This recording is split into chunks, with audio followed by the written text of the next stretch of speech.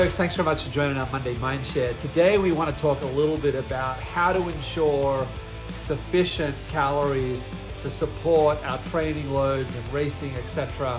Today we're going to focus on high intensity training and before the training and after the training.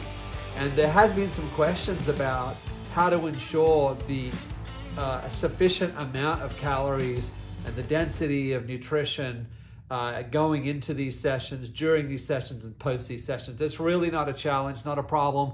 We'll walk through the science and then we'll walk through the practical application. So, as we said, we, we really want to focus here on high intensity training. Uh, we've spent a lot of other videos on zone two training, which zone two, of course, is a lower intensity um, and certainly still burning uh, material amounts of uh, fuel and glycogen and fat in the body. But today we're specifically going to talk about high intensity training or interval training or tempo training. This is typically what we do more of as we get closer to race series and we want to heighten the intensity and simulate more of the intensity of training. But with that comes a higher demand of our body in terms of calories to really support quality training. And it's a really good question to ensure that we don't fall into the trap of insufficient calories. And uh, we also want to look at the calories going into a training session and also, if you will, recovery post a training session. And all of these components of pre, during, and after all contribute a caloric load to support the intensity and the duration of this training where uh, we're conducting for endurance sports. So let's take a look at it. So first, maybe just to reset on right fuel, right time. And, you know, what we're saying here is really about using the right specific fuels at the right time.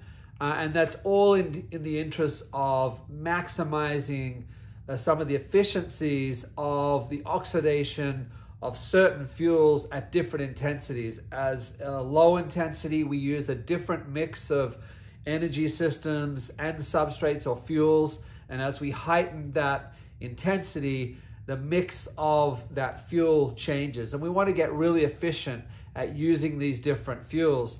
None of this suggests is that we don't take insufficient calories.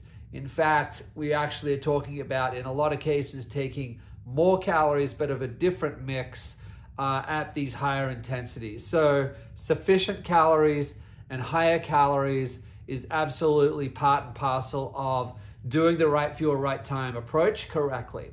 So, as I said, uh, specifically, we're going to talk here about higher intensity training or zone four training. Uh, it can be even beyond zone four training, meaning uh, highest intensity, more VO2 max training. But what we are talking about here is above our thresholds. Think of our anaerobic thresholds, etc. This is in the 80 to 90% thereabouts of our heart rate. This is also, you know, around plus beyond 90% of our anaerobic threshold or uh, functional threshold power or FTP on the bike as we refer to it.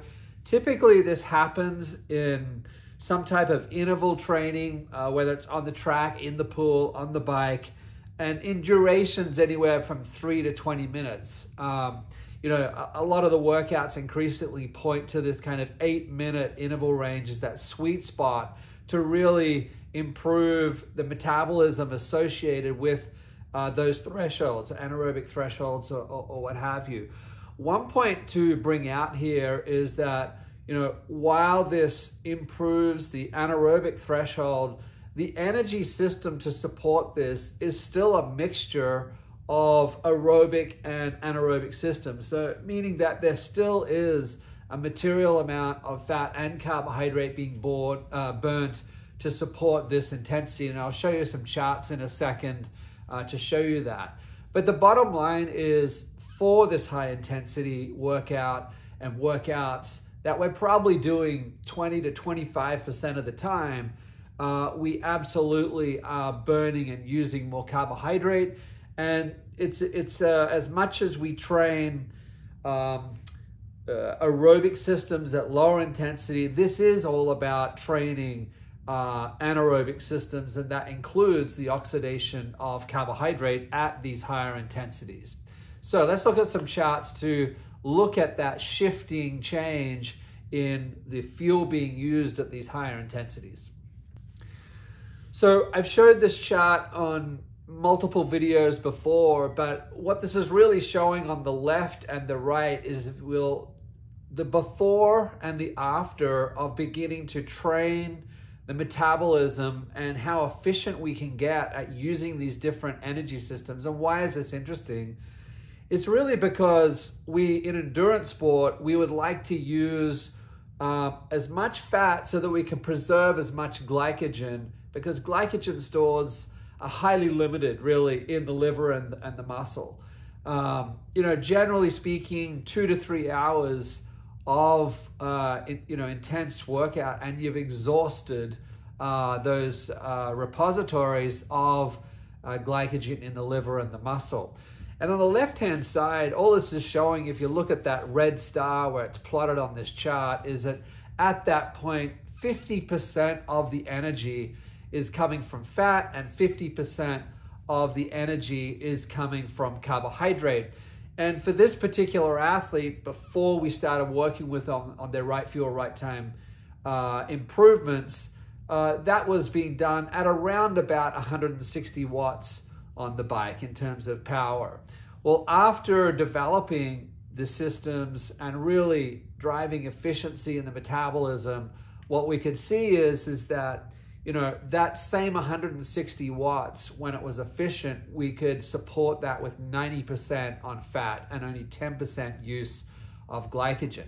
But as we ramped the uh, intensity, of course, you can start to see at about 300 watts that 80% of the energy is coming from fat and only 20% is coming from glycogen. So we can begin to really store a lot more and preserve a lot more glycogen with this method. But at the end of the day, what you're seeing here is that rise of the green dots on the right as the intensity increases is that there is clearly a rising contribution of carbohydrate to support those higher intensities. And thereby we are beginning to burn and use more carbohydrate at these high intensities. So we do need to get very efficient at the use of carbohydrate as much as we also want to get efficient at preserving carbohydrate. And this is why as we, you know, conduct these high intensity training sessions, these zone four sessions, these interval sessions, uh, we are trying to train the body on efficient both preservation and also utilization of carbohydrate. And therefore we provide a carbohydrate during these sessions to support that. This is just uh, some examples. On the left-hand side, in the middle, there's two products here from the industry. And all we're just showing here is that when you look across different support nutritional um, products to fuel these zone four high intensity or racing uh, uh, uh intensities, is that most of the products on the market have this 30 to 40 gram of carbohydrate, you know, per sachet. Some of them might be packaged differently that requires you to use uh, multiple scoops. Uh, but most of them are positioned around this kind of 30 gram to 40 gram uh, per serve. And this is yielding around 120 to 160 calories uh, per one of those sachets or scoops, etc. Gels, gels are very similar. Um, you know, through packaging 25 to 60 grams of carbohydrate. So the packaging changes a little bit, but it's all, you know, when you look at it at the end of the day, they're trying to position um, usually in uh, components of 30 grams so that you can go from 30 to 60 to 90 to 120. Now, in, in the S-Fuel Zone 4 product, you'll see that there is the 30 grams of carbohydrate, and then we also have this two grams of medium chain triglyceride and glutamine, this extended substrate as we call it, and that's what gets to 140 calories uh, in the Zone 4 uh, per sachet. And this is all about trying to use some of those other substrates like the medium chain tri triglycerides and glutamine to really train the efficiency of those anaerobic thresholds and also to train and support gut resilience, which is a big deal, of course, as you get into higher and higher intensity of training and racing. But the bottom line question is, is how much should you really be using per hour? And there's just a lot of voices on the internet right now that talk about these quite ridiculous high amounts of carbohydrate intake. And for all intensive purposes, a lot of that is never used in the body. Uh, it's absorbed. It cannot actually uh, come across the gut at those rates. And this is what begins to contribute to some of these gut and GI issues, whether it's in training or racing, where we start taking these uh, very high amounts of carbohydrates. So let's take a look at the science and see what it says. And this goes back now, uh, you know, 20 years where some of the earliest research started looking at what is the peak amount of carbohydrate that can be oxidized and actually taken in uh, also to the body. What's the intakes and what's the amount that can be oxidized? Well, in 2004, some of the earlier research was showing that a mixture of carbohydrates had a peak of 1.3 grams per minute. So that translates into about 300 plus calories uh, per hour. And the intake to get to that was 108 grams per hour. So just to give some context there, 108 grams of carbohydrate was taken in, only 78 grams of carbohydrate was the peak of oxidation. So just because you take it in, don't assume that all of that crosses the gut into the blood supply and it's oxidized and used. There is a fallout and part of that is to do with how much can come across the gut. On the right-hand side, a year later, some further studies was done on, you know, forcing, if you will, more carbohydrate into the intake. Can we increase the amount of peak oxidation? And this is probably, I think, what a lot of the industry has built their products around. It talks about a peak um, oxidation rate of about 1.8 grams per minute. And that was, if you will, a makeup of 1.2 grams of carbohydrate, uh, 0.6 grams of fructose. So think of 1 to 50% uh, between glucose and fructose. And that's, you know, how they got to this higher peak rate, just, you know, 430 calories thereabouts uh, per hour. The intake of this, of course, though, was 144 grams of carbohydrate per hour. And just to put context to that, that would be four gels or one gel every 15 minutes or four gels per hour. So it's pretty intense intake. And again, this is what contributes to the gut issues that we commonly see through uh, the sport.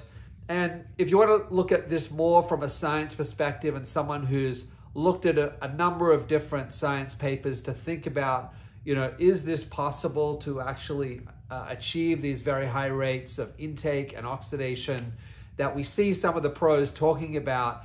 Well, take a look at these two um, studies from Dan Plews and the EndurIQ team, the QR codes uh, on the screens here.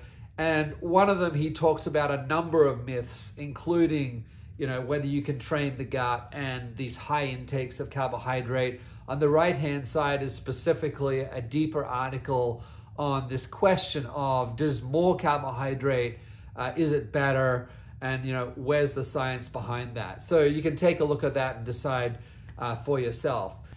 In our training recipes guide, which you can see the QR code there, you can download it there you're going to find for most of the zone four threshold tempo and the high intensity interval sessions in the training recipes is that you'll see a consistent reference to the use of our primed product, our life bars, and our zone four product. And just to give context here, the primed product itself is less about the calories that it uh, has. It's more about specific functions of caffeine and carnitine and taurine and you can read up on our website about the role of all of that to upregulate fat oxidation and cognitive focus for these high intensity sessions. And you'll see in this um, training recipe guide also proposing to use the life bar before a lot of these high intensity training sessions. And this is really to go into these sessions satisfied with a sufficient calorie um, intake before the training sessions, like an hour before, but it's mostly protein and fat and very little sugar. And we're really trying to give the calories without popping uh, glucose in the blood and therefore popping insulin and therefore downregulation of fat oxidation. So you'll find that through using the life bar. As we get into the training session itself, we're using our zone four, which has that classic 30 gram carbohydrate per serve. But let's talk about now just post training, these types of sessions, and really, you know, returning back and complementing the replenishment of, you know, liver and muscle glycogen with, you know, dense nutrition and calories from what we do after training. A key point with this is that, you know, we probably shouldn't be trying to, in the training session, replenish everything by the nutrition we take just in the training. We can use nutrition and whole foods straight after the training to far more efficiently and frankly cost effectively replenish the calories that we would use in training. And I'll give you an example here using uh, a classic, you know, recovery shake. And this is made up of, you know, protein and for us, uh, glutamine and ketones, very little carbohydrate. And most usages of this are adding, you know, cream and water and ice. You know, a, a shake like that would be, you know, 480 calories thereabouts or you know similar the same but adding some fruit to that and you're getting close to 700 calories this is really dense nutrition. And, um, you know, if you were to try and get this type, type of caloric hit uh, in the training session itself, uh, you know, not only would you be going through a lot more gels, the cost of doing that is really quite, quite prohibitive. You know, using whole foods plus some quality nutrition in the way of protein and glutamine and uh, ketones after the training session, you're going to get very high caloric doses to help recover, replenish the muscles in an accelerated way.